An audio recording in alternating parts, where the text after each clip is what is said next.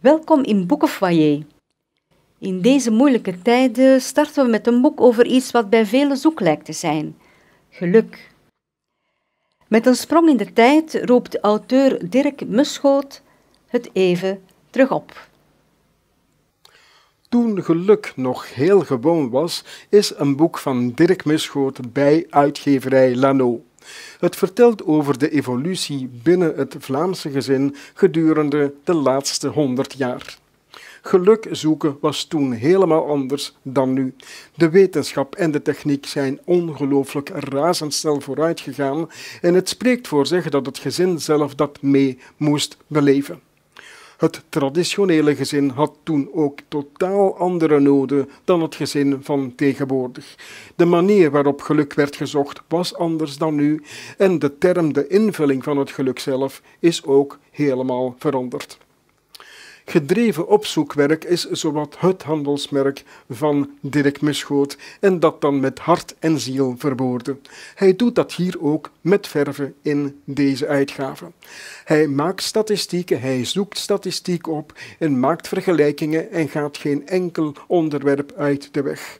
O tempora, o mores, of hoe de verloving vroeger bijvoorbeeld diende aangevraagd te worden voordat men ooit zou kunnen trouwen, hoe de verloving moest verlopen en wat mocht, wat ook al helemaal niet mocht.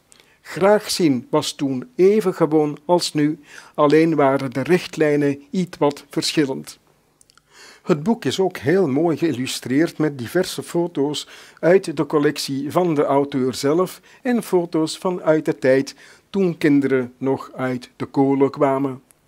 De opdeling in diverse hoofdstukken en diverse stappen van het leven maakt het ook boeiend om lezen en gezellig om in te struinen naar onderwerpen, onderwerpen zoals verloving, zoals trouw, zoals kinderen krijgen, zoals naar school gaan, vakantie, televisie kijken en zo verder. Het is leuk lezen, je leest, je herleest en het is heel fijn toeven in een boek over geluk. Even kriskras door elkaar misschien enkele onderwerpen, enkele titels die meteen de aandacht trekken, zoals daar zijn van Moetes, In het Wit, Homokoppels, Kruidenier, Nonkel Bob en Tante Terry, Kamperen, Benidorm en Expo 58. Achter elk van die titels ga je meteen op zoek naar wat Dirk Muschoot daarover weet te vertellen. Om samen te vatten, weetjes, waarheden, gebruiken, dogma's en denkpistes van vroeger, kattenbelletjes naar nu, vind je terug in Toen geluk nog heel gewoon was. Volgende keer zijn we er weer met wat overblijft. De mooie roman van Ingrid van der Veken. Guy Didelé is niet alleen een gevierd jeugdauteur. Hij vindt dat schrijven altijd een avontuur moet blijven voor heel uiteenlopende leeftijden in heel uiteenlopende genres. En we kennen hem ook als een vlot verteller. Perfect voor boekenfoyer dus.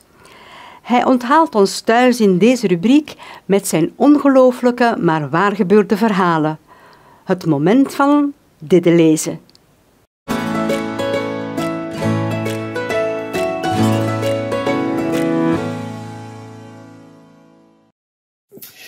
Ga jullie vandaag een waanzinnig verhaal vertellen dat gepubliceerd werd in het boek Waanzinnig en Waar Gebeurt. Een boek geschreven samen met co-auteur Frank Polet en met tekeningen van Carré Cartoons.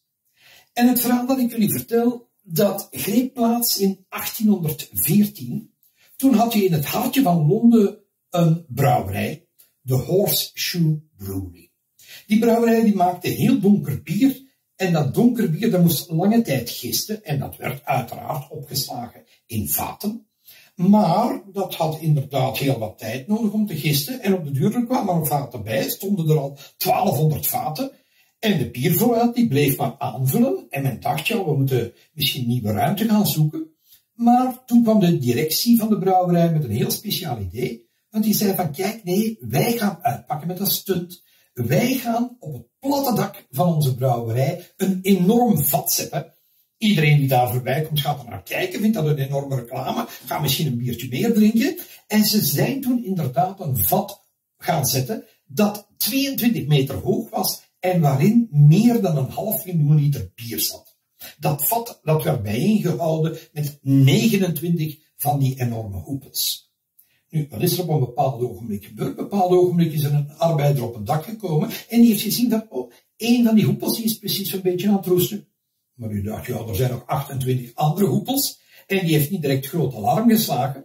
Had hij misschien beter wel gedaan, want een poosje later is die ring losgekomen. De ruimte tussen de ring erboven en de ring eronder, die was nu een stuk groter. Je kunt je voorstellen, in dat vat zit een half miljoen liter bier te gisten. Dat is natuurlijk een enorme kracht. Op een bepaald ogenblik is dat vat uiteengespat met een knal die je kilometers ver kon horen. Dat bier is uit dat vat gegutst, dat is op het dak neergekomen. Dat dak heeft het begeven. Dat is met balken en alles naar beneden gevallen. En daar stonden die 1200 andere vaten.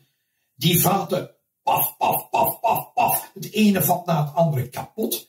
En daar is toen, u hebt het woord waarschijnlijk nog nooit gehoord, maar ik zweer u dat het waar is, daar is toen de eerste biertsunami van de geschiedenis ontstaan. Daar is een ware vloedgolf van bier naar buiten gekomen.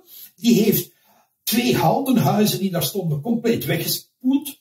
In die houten huizen woonden mensen in de kelders, die zijn daar verdronken. Daar zijn in die eerste biertsunami acht mensen verdronken. En de negende, die is een dag later overleden, maar die is niet echt verdronken. Die heeft de overvloed op een andere manier proberen te bestrijden. En dat is het ongelooflijke, maar waar gebeurde verhaal van de biertsunami in Londen.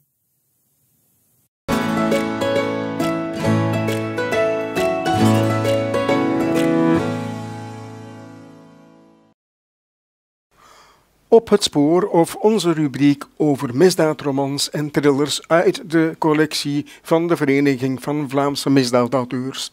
We hebben vandaag twee titels voor u en de eerste is die van Pieter Thiessen, producer bij Eleven Sports. Hij schreef voor uitgeverij Horizon de roman de thriller Julien.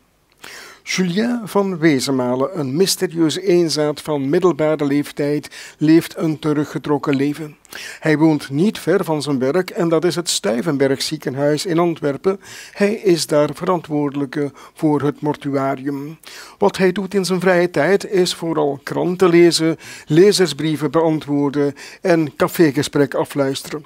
Nu, op een dag vindt Julien een condoom met diamanten in de lichaamsopening van een overleden Nigeriaan.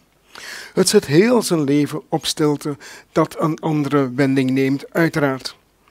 Na Margot is dit de tweede spannende thriller, het tweede boek op dat vlak van Thyssen en het is sowieso het volgend waard.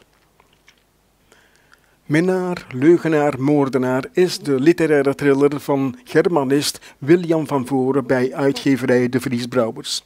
Van Voren is gefascineerd in het reilen en zeilen van de maffia en hij reisde speciaal voor dit boek naar Sicilië om indruk op te doen, om opzoekwerk te verrichten. Minnaar, leugenaar, moordenaar gaat over Vlaams zakenman, fraudeur en gokverslaafde Mark Verbeek. Hij ziet zijn beleggingsfirma ten ondergaan en kan niet anders dan vluchten naar Sicilië. Zijn zwakheid en zijn hebzucht brengen hem al gauw in contact met de maffia en hij verliest er heel veel, maar ontmoet er ook zijn grote liefde. In een spiraal van misdaad verliest hij ook haar. Hij grijpt een onverwachte kans om haar te wreken. Alleen overleeft hij dat. Inderdaad, spanning troef in dit boeiende debuut met een strak tempo van germanist William van Voren. Zo, dit was Bokkenfoyer. Volgende keer zijn we er weer met een boek in de kijker en speuren we naar andere spannende misdaadromans. Tot dan!